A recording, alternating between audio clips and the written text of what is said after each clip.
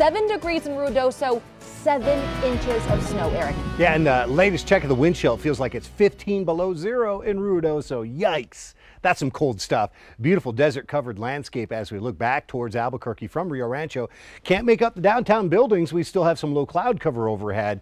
Uh, in northwest, uh, in the northwest corner of the Albuquerque metro, we're in the cloud right now and it's still flurrying. Got about one lane of blacktop there in both directions on Coors. Look at how slow the cars are coming down the hill right there. First the snow, uh, the wind kicking in, and then the bitter cold settling in. Another storm on the way for Tuesday, much milder by the upcoming weekend. So give it a little time. It's going to get better. Rare blizzard warning issued for Bernalillo and Valencia counties, Torrance County, the I-40 corridor through the East Mountains, all the way out to about Clines Corners uh, until 11 this morning. We have the potential to see the wind gusts in the 55 mile per hour range, making visibilities down to nothing at times and travel near impossible. Travel is not advised in blizzard warning conditions.